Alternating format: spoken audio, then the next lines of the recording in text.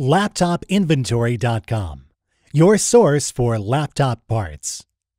Notice, the repair process is different for every laptop model. At LaptopInventory.com, we have created a database with thousands of free laptop repair videos. Simply go to LaptopInventory.com. Select your laptop brand, series, and model, and find the exact repair video for your laptop.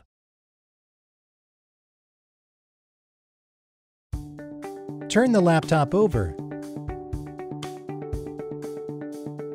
Remove the laptop battery.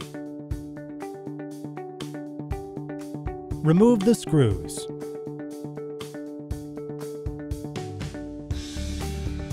Remove the cover.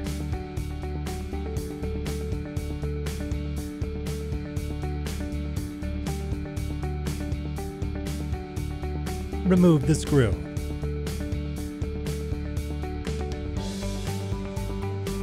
Remove the optical drive. We will now install your new optical drive. Place the screws back in.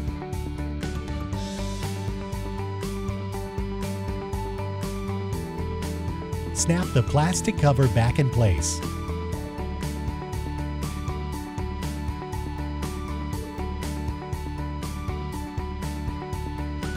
Place the screws back in.